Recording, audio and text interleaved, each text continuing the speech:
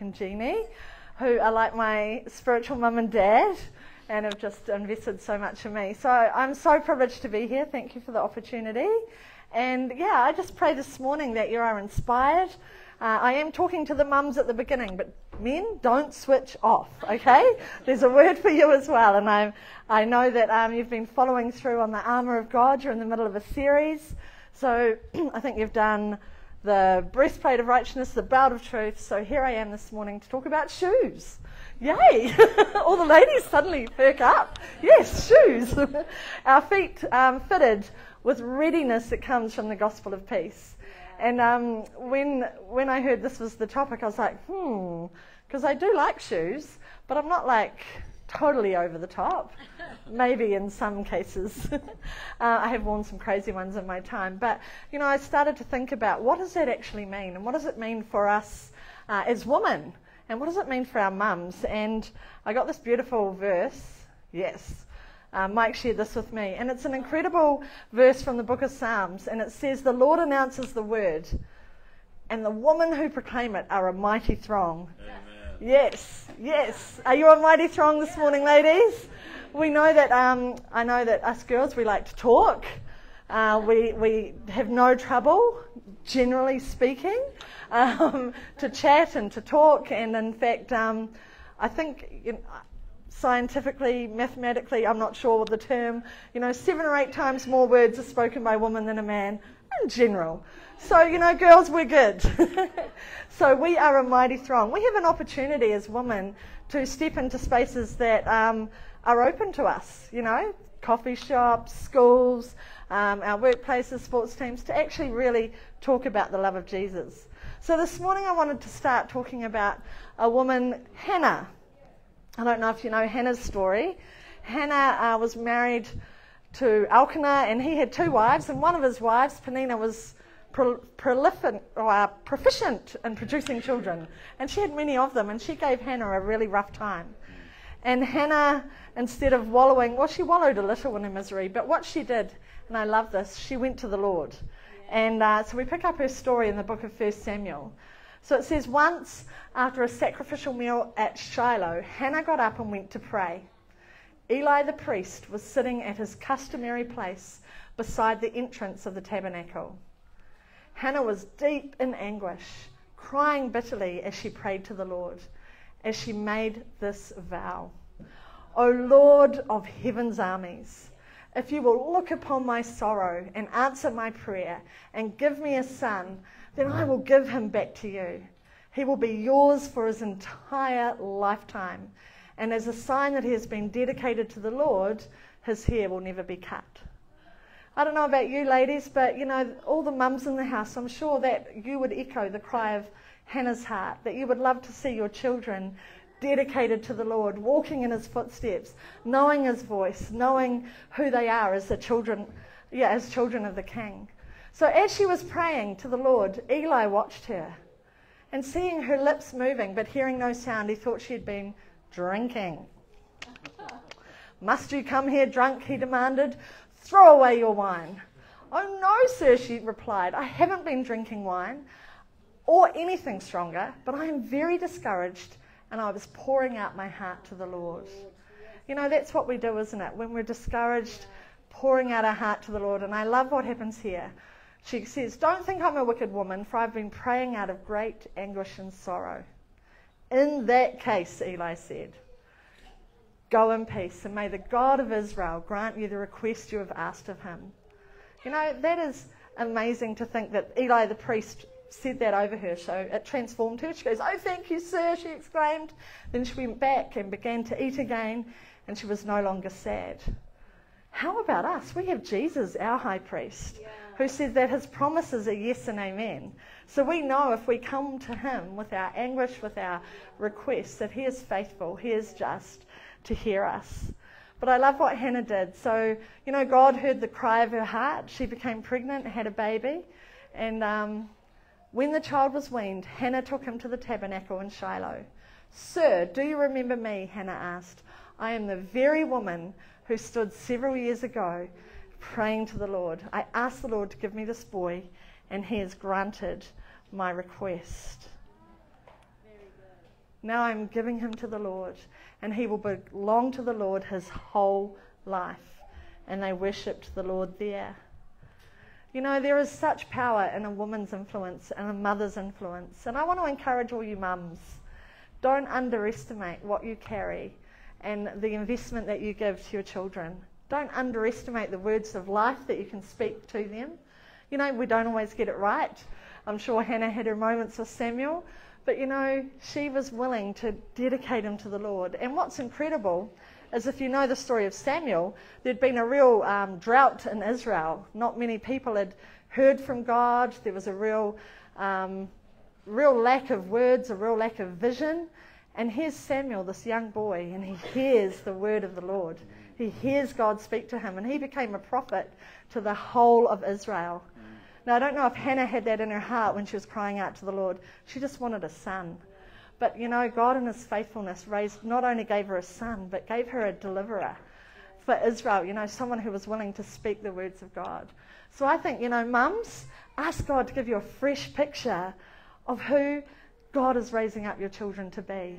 You know, I've heard of Susanna Wesley. I don't know if you've heard of the Wesley um, brothers, Charles, and there's another one, John. Thank you.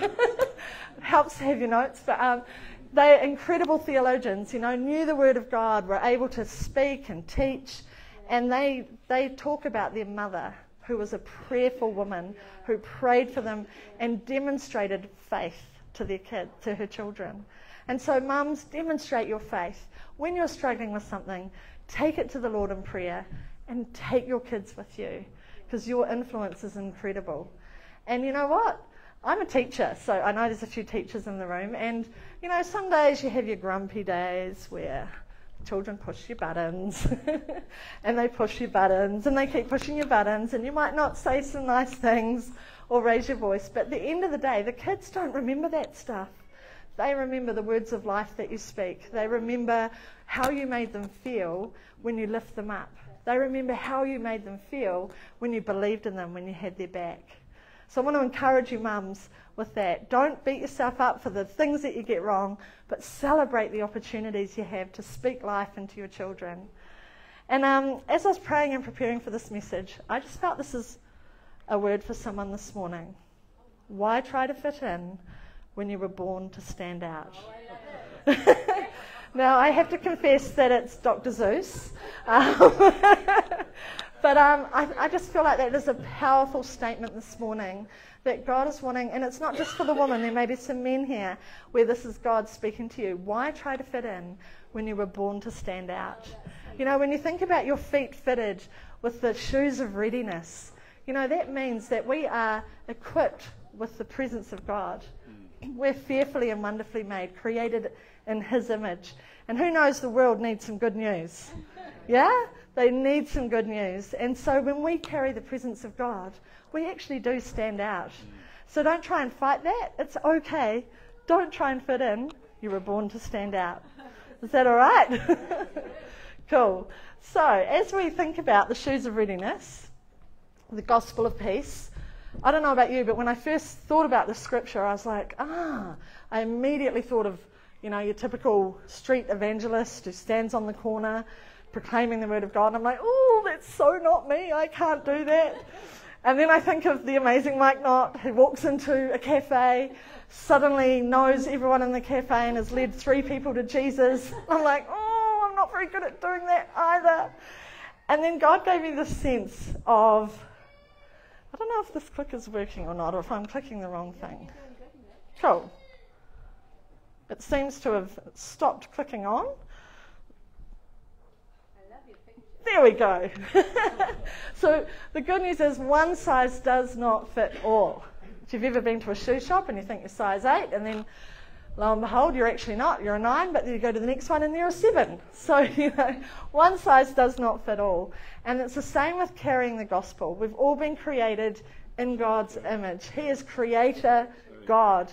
You know, if you walk around, uh, we've got a lovely zoo in Wellington, and I was there not so long ago with my nephew, and I was looking at the giraffe and just going, what were you thinking, God? like the giraffe. It's huge, it's amazing the way it walks. And I was just like, Creator God, you are so creative. you know, and, and that's us. You know, we're all different. Not one size fits all. And I feel like we need to be reminded this morning that whatever shoes we're wearing are shoes that God's created for us. And that one size or one idea of what an evangelist is or what someone is that is willing to take God's word is not what it's going to be for all of us.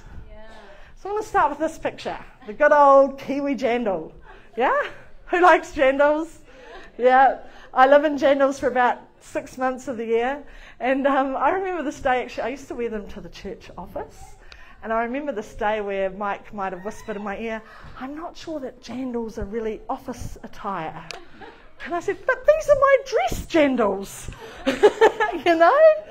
But I love the sense that jandals, you can wear them anywhere.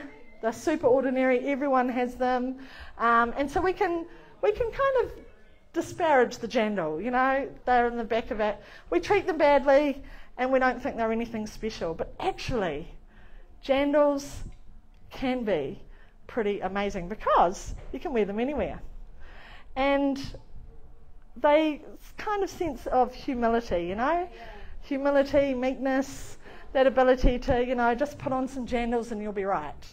And there's a story, well, Jesus is speaking actually about the type of people that are going to enter the kingdom of heaven. This is what he says in Matthew. He says, The king will say to those on his right, Come, you who are blessed by my Father. Come, inherit the kingdom prepared for you from the creation of the world. For I was hungry, and you fed me. I was thirsty, and you gave me a drink. I was a stranger, and you invited me to your home. I was naked, and you gave me clothing, and I was sick, and you cared for me. I was in prison, and you visited me. And then these righteous ones will reply, Lord, when did we ever see you hungry and feed you, or thirsty and give you something to drink? When did we ever see you sick or in prison and visit you? And the king will say, I tell you the truth, when you did this for one of the least of my brothers and sisters, you were doing it to me. Isn't that an amazing picture?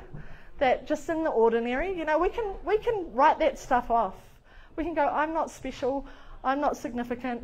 Oh yeah, I make a I make a meal every now and then for someone who needs it, or you know, I went and visited that lady last week because she was upset, or you know, but that's just nothing. Don't write that stuff off yeah. because they are the types of things that get God's notice. You know, they're the type of things that will actually attract people around you. And I feel like sometimes, you know, Jesus said that he came to give us life, life in all its fullness. But what did the enemy come to do? Steal. To steal, to kill, to destroy. And I feel like the enemy tries to shrink our idea of who we are, yeah. shrink our idea of our influence. And I believe this morning God's saying, put on your jandals. It's okay to be ordinary because I'm with you. And so when God's with you, you're feeding the hungry, you're touching lives, you're making a difference. So I want to encourage you with this picture. Um, there's beaches that can often get inundated. I don't know if you get starfish here. Yeah, yeah. I know there's lots in Wellington, but the starfish. And, and there's a sense that if you look at this beach and look at all these poor starfish that are most likely going to perish, and you think, whoa, there is so much need out there. Now, we can look at our world, we can look at our community, we can even look at our family and be overwhelmed with the need. And I look at that picture and I go, where would you even start? And there's a beautiful story of a young boy who was on a beach just like this, and he was picking up a starfish, throwing it into the water, running back, picking up a starfish, throwing it into the water. And this, this man comes and he goes, What are you doing, kid? And he goes, Oh, I'm, you know, I'm, I'm helping. And he goes, Ah, oh, look how many starfish there are. You'll never be able to rescue them all. It doesn't matter. And the little boy picks up the one starfish and goes, Well, it matters to this one as he threw it back in the water. And I feel like God's wanting to say to someone this morning, It matters to this one. That person you're praying for, that person you're investing time into, that person that you're getting alongside, it matters to God. And He is with you and He notices. So don't despise your jandals. All right? Don't despise those ordinary um, that ordinary footwear. Remember that God makes extraordinary things out of the ordinary. My second picture are your gumboots. Now, how many people in this room own a pair of gumboots? or more than one pair. Jeannie even has a bright pink pair, I have to say. Well, uh, I have to confess, I do not own a pair of gumboots. Um, in fact, I don't even remember owning gumboots. I am such a city girl. I haven't lived. But anyway, I went to visit a friend of mine not so long ago, and she, her and her husband have got this little farmlet. And she goes, I thought we'd go for a walk. It's a lovely day. And I'm like looking at my shoes and thinking, she goes, you come and see our new cows. And I'm like, great. that sounds like fun. Immediately, I'm thinking about how I'm going to have to delicately walk in and out of cow manure and mud, and I'm just not feeling like this is going to go well. She goes, But don't worry, Mitch, I know you. I've got some gumboots just for you. And so I was like, Phew. So took off my nice shoes and put on the gumboots, and it was amazing how freeing it was. Suddenly I wasn't looking at where, my, where I was putting my feet. I was stomping in cow poo. You would have been very impressed with this city girl. um, and having a wonderful time. I even walked through a stream. Um, I did come face to face with a cow. I think some women have heard this story before. Um, we turn a corner and we go through a gate, and then I turn around and there's literally a cow this close. and there was no fence. So I was freaked out. But Danielle, my friend, was very calm. It's all right, it's all right, they're friendly cows. I, I, don't know if there's such a thing, farmers. but here I am, face to face with this cow. And um, we walked back, and it was such a relief to get back to the house and to take my feet out of these smelly, dirty gumboots and go, Look, I'm untouched. like, I'm fine. I don't smell anymore, and I'm not, you know, I, I'm totally untouched. And then I just felt that this is a picture of who we are when we walk into dark places carrying the presence of God. We don't need to walk in fear. We don't need to walk um, timidly. We can walk boldly and with confidence to the places that God's called us because we know that the muck of the world can't touch us. The light shines in the darkness, and the darkness has not overcome it. We don't need to be afraid of the world. We don't need to be afraid of choices that people make because we carry the light of the world. It says that we are the salt of the earth. But what good is the salt if it loses its flavour? Can we make it salty again? It will be thrown out and trampled underfoot. But we are the light of the world, like a city on a hilltop that cannot be hidden. No one lights a lamp and then puts it under a blanket. Instead, a, light, a lamp is placed on a stand where it gives light to everyone in the house. In the same way, let your good deeds shine out for all to see, so that everyone will praise your Father in heaven. And then I love this John 1, verse 5. I started with it, I'll end with it. The light shines in the darkness, the darkness has not overcome it. You know, just a tiny match can t- transform a whole room. And I love the fact that if we're thinking about being men and women of influence, if we're thinking about taking the love of God to people around us, there are some dark places. There are some places where people might not like us, might not want us to come and share what we think are good news. You go, oh, you're ignorant, you're narrow minded, you don't know, you don't have the truth, you're in the dark ages.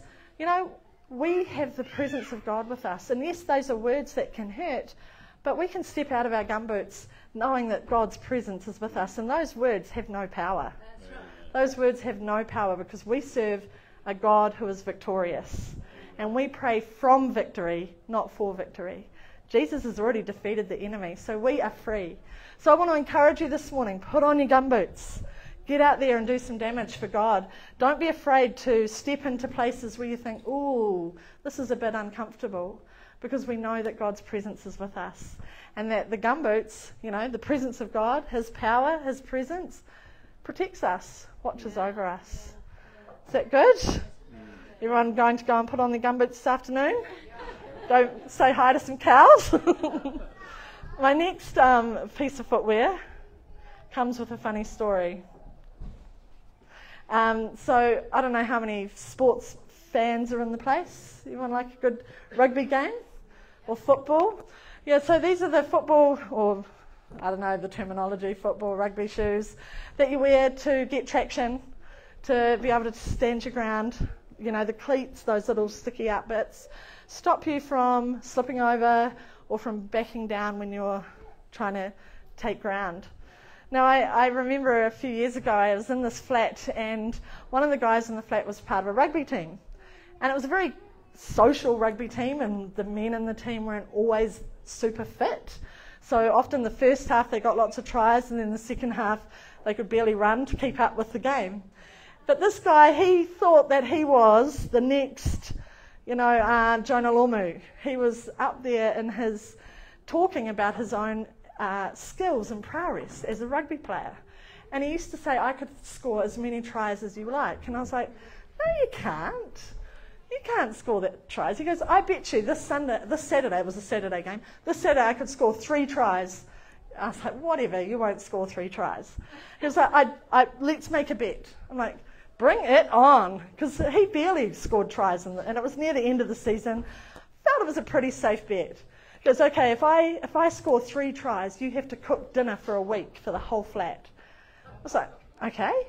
And if, and if you don't, he goes, I'll cook dinner for the whole week for the whole flat. I'm like, oh yeah, this is a good deal. I, am I'm, I'm liking this. So I agreed. like, yep. So the whole flat, we turn up to watch this rugby game. And um, the team were playing and it was just going normal. And then suddenly they set themselves up for a try and then they all did this maneuver and waited for my flatmate to come, and they gave him the ball, and he walked over the line and got the first try. They all turned around and went like this to me. I'm like? What? Been hustled. You can guess the rest of the story. Second try, the team set him up. They let him score the try. They all turn around and do a two to me. They get this, he gets across the line the third time. The whole team are like, yeah, dinner for a week. I'm like, that wasn't the deal. Needless to say, we had lots of visitors in our flat that week, and I did a lot of cooking. And um, I was very annoyed, as you can imagine, but I'd been hustled fair and square. But um, the reason I share that story is a, a couple of things. The first thing is be audacious in your ask. You know, my flatmate, I can score three tries. I'm like, yeah, whatever. Whatever, you cannot, unfortunately. He found a loophole but in reality, scoring three tries in his own strength would never have happened. But he was audacious. He was willing to step out and to ask for bigger and to go for bigger. And, you know, I might have even made the bet on two tries, you know. But I think that we need to be audacious in our ask. We need to be audacious in our ask. And I remember Rob Reed, who used to work with us uh, back in Wellington, he used to say to me, Don't say people's no for them. Don't say people's no for them. And I've learnt over the years that God loves it when we ask for more.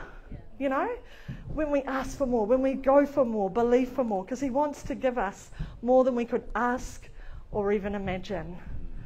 He's saying, you know, believe me and I will do it. He says, I will give you the nations as your inheritance. Is anyone believing for a nation today? You know, sometimes I find it hard to believe just for my neighbour.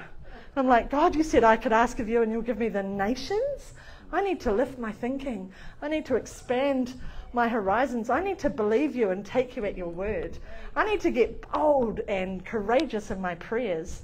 I need to be not afraid to ask for more, for believe for more, because God is more than able. Yeah. Absolutely more than able.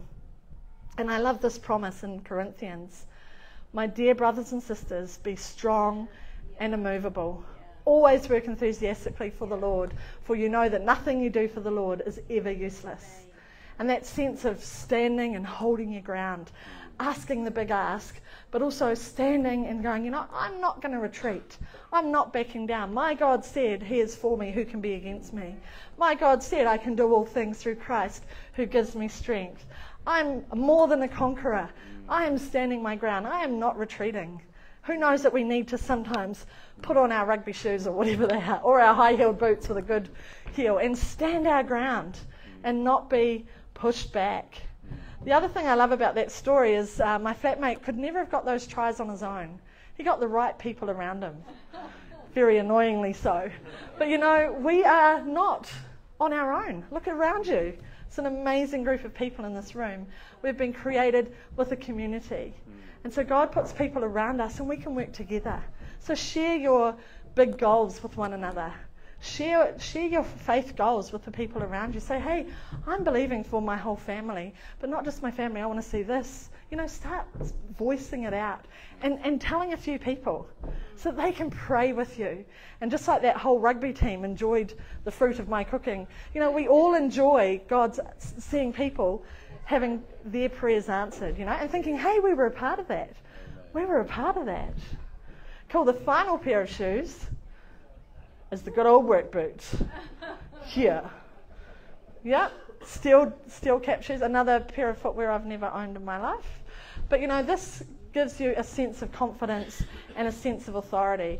These shoes allow you to go into places where normal mortals are not allowed to, to, to walk, health and safety and all of that. And so I love these scriptures for the Lord your God who goes with you to fight for you against your enemies, to give you the victory. But thanks be to God who gives us victory through our Lord Jesus Christ. And I can do all things through Christ who strengthens me. Isn't that a cool picture that God is with us and that we can stand and be courageous because He is going ahead of us? So, as we think about, and here's a real traditional um, kind of idea of what those shoes of peace may have looked like back in Jesus' day, the Roman soldiers. You know, we're all part of the kingdom of God. We've all been asked and tasked with sharing the good news of Jesus with those around us. And it says here, for everyone who calls on the name of the Lord will be saved. But how can they call on him to save them unless they believe in him? And how can they believe in him if they've never heard about him? And how can they hear about him unless someone tells them? And how will anyone go and tell them without being sent? We've all been sent this morning. Jesus was very clear. He said, You shall receive power when my spirit comes on you, and you will be my witnesses. Mm. He said, Go and make disciples of all nations.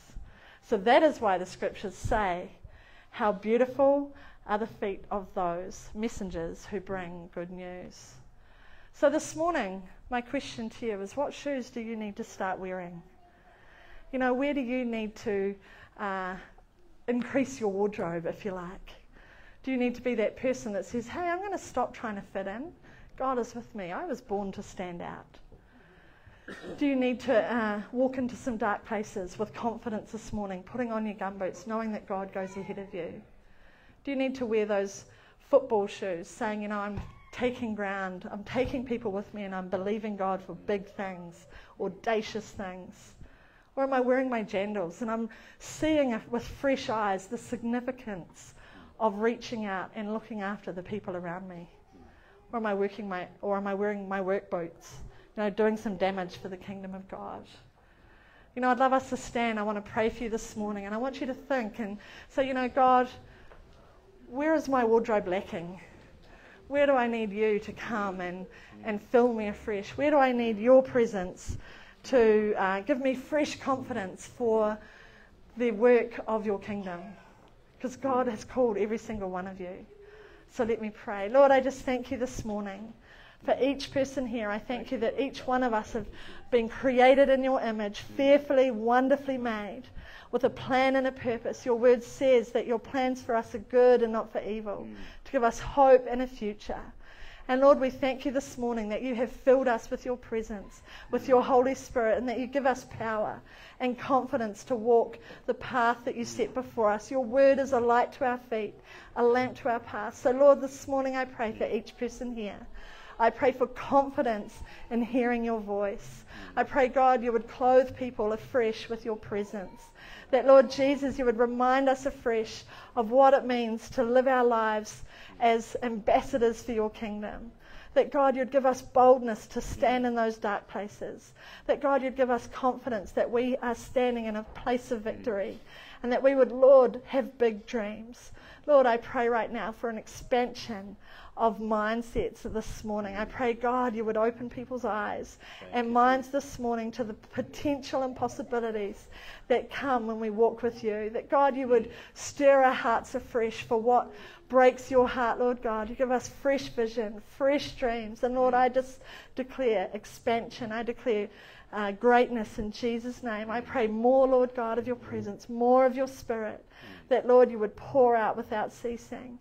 And God, I pray for those that are ministering uh, and the, the ones and the twos, for those that, Lord, are giving so much of their time and energy that's perhaps unseen. I thank you that, God, you are our audience of one, that you celebrate every action. And God, I pray for fresh hope and fresh peace to just touch your people this morning. And for our mums, Lord God, investing into their children. Lord, I pray your covering, your protection over them. Lord, give them the wisdom to speak words of mm. life, words of truth, words that will see their children mm. going further and and yeah, more greater than they are. Lord, we just bless our mums today. Mm. And we thank you, God, you're with us. We give you all the praise and all the glory. And all God's people said, Amen, amen and amen. My parting shot. You can never have too many shoes.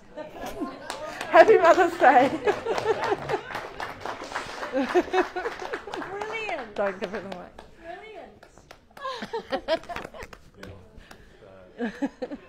we put our shoes on. Some of us need to take the first step. You need to step towards your, you need to step towards your dream, step towards the thing you're believing for. Uh, and walking with Jesus begins with the first step. Continuing to walk with Jesus step. Mm. I just really pray right now, Lord, Yeah. for the help to step forward to have for us. Mm. of your incredible salvation. And I really pray this morning, if you, if you don't know Jesus, you don't know what it is to walk with Him. Mm. First step is to say, Jesus, thank you for loving me. Mm. Thank you, you gave your life for me. Lord, all the things that I've done that are not pleasing to you, I thank you, Lord. I give them to you. You cover them. Yeah. You give me a brand new Lord. start. Please come and be part of my life,